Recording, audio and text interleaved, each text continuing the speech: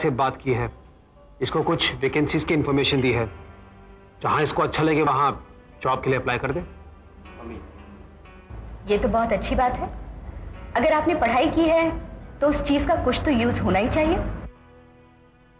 राधिका बेटा तुम चुप क्यों हो?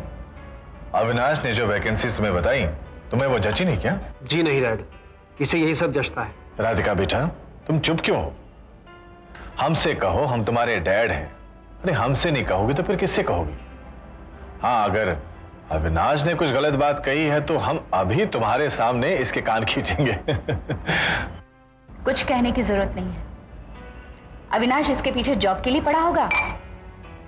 और ये बात इसे पसंद नहीं होगी। लेकिन मम्मी मैं तो इसके लिए कह रहा था कि एक मिनट अविनाश।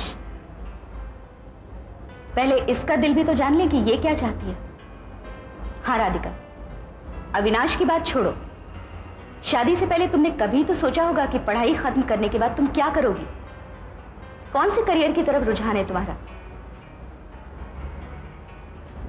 इसकी तरफ़ मत देखो। ये तो हर बात को लाइटली लेता है।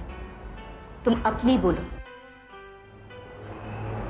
मामा, हमारी थिंकिंग से एजुकेशन लेने का मतलब नॉलेज हासिल करना होता है। और ताऊजी तो कहते हैं कि ज्ञान ज़्यादा से ज़्यादा बटोरना चाहिए। टेक्स्ट बुक से आगे भी पर ज़रूरी नहीं कि इस ज्ञान का इस्तेमाल सिर्फ़ करियर बनाने के लिए ही किया जाए। मामा हमारी सोच तो ये कहती है कि घर गृहस्थी चलाना भी एक फुल टाइम जॉब एक लाइफ टाइम करियर है। वाह बेटा वाह। डैड आप भी इसकी थिंकिंग को सपोर्ट कर रहे हैं? अविनाश हर किसी को अपनी थिंकिंग अपनी लाइफस्टाइल को तय करने और चुनने की आज़ादी है। और वैसे भी राधिका गलत नहीं कह रही है। घर गृहस्थी को संभालना अपने आप में एक कंप्लीट करियर है। बात एप्टीट्यूड की होती है।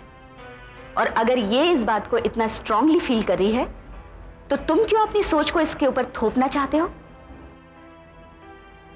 राधिका, तुम्हारे जो मन में आए, तुम वही करो। बस। और हाँ अविनाश, तुम इसे किसी बात के लिए फोर्स नहीं करोगे।